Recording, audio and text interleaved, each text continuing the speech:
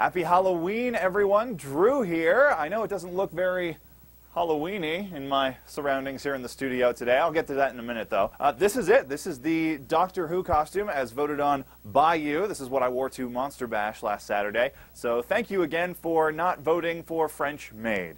I I just don't think I ever would have lived that one down. So thank you. I even got the bow tie and the suspenders that kind of make the Doctor Who ensemble complete, so I really appreciate your help getting that together. This costume almost was no more. That, I was missing those two things, and it really, really brought everything together to finally get those last two elements to it.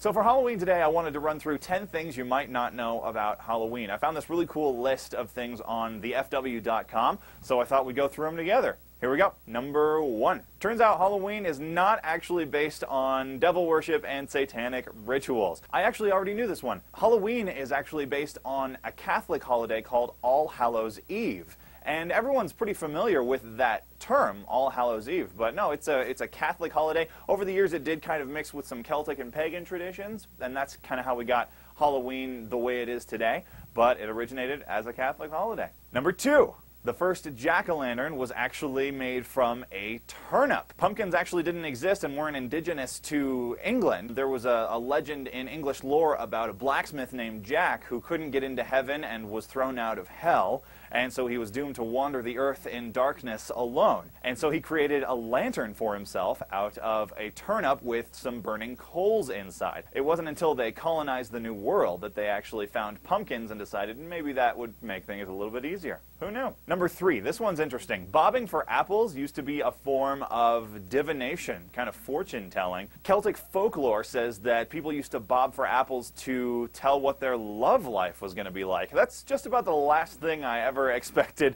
bobbing for apples to be used for, but there you go.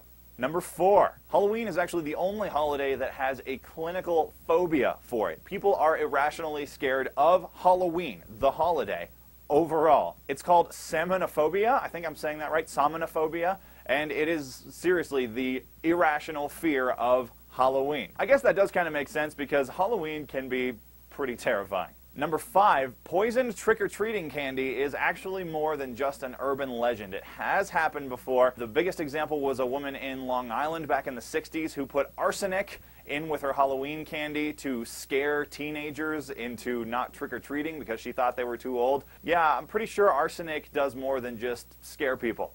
Pretty sure it kills them. Luckily, the police thought so too but it is more than an urban legend, unfortunately. Number six, and I wish this was still true, Three Musketeers, when it was first released, actually was three different flavors. There was chocolate, strawberry, and vanilla nougat. And then they had one bar that had all three of them in them, like a Neapolitan. Man, that sounds so good. We should start a campaign to bring back all three flavors of Three Musketeers. Who's with me? Number seven, a gang in California is actually notorious for toilet papering people's houses and property, and they've been doing this since the 1990s. They've been doing this for decades. A gang that's sole function, or at least what they're known for, is just TPing people's houses and cars over Halloween. I guess it could be a lot worse. I'd be willing to let them TP my house. There are so many worse things that gangs could get into.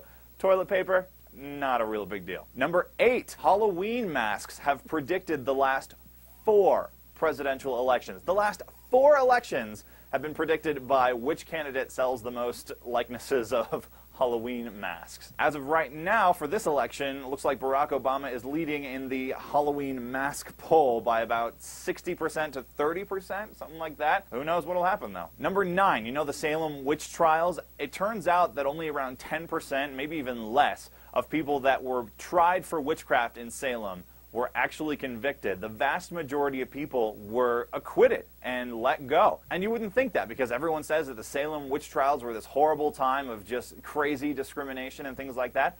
Turns out maybe it wasn't quite as bad as everyone says. And finally, number 10, this is kind of my favorite of the whole list. If your house is haunted and you're trying to sell it, nine states, maybe more, have laws on the books saying you must tell the buyer that your house is haunted and they could be entitled to up to a 25% discount. Unless they really want to live in a haunted house. I mean, if you found somebody like that and you were trying to sell your haunted house, then good for you. But otherwise, many states, including weird ones like Hawaii, actually have laws on the books saying you must fully disclose any haunting of your property when you're selling it. So that's it for the top 10 things you probably don't know about Halloween. I hope you had as much fun as I did. And I guess I should address the elephant in the room, the Christmas decorations. Well, Christmas is coming early to Tri 102.5 this year. We are going to have a very Merry Christmas here in the studio and on the air. Stay tuned for more details about that later, but I'm pretty sure you've already figured it out by now. So guys, that about does it for the special Halloween edition of Drew the DJ's vlog. I hope you had as much fun as I did. Have fun tonight, be safe for Halloween, and uh, try and have fun despite the fact that it's a weeknight and you're probably going to have to work tomorrow. I know I am, and I'll probably just stay home, and we might have a couple people over, me and my fiance, and watch some movies, but that's going to be pretty much it. So I hope you have a great Halloween. Have fun. Be safe.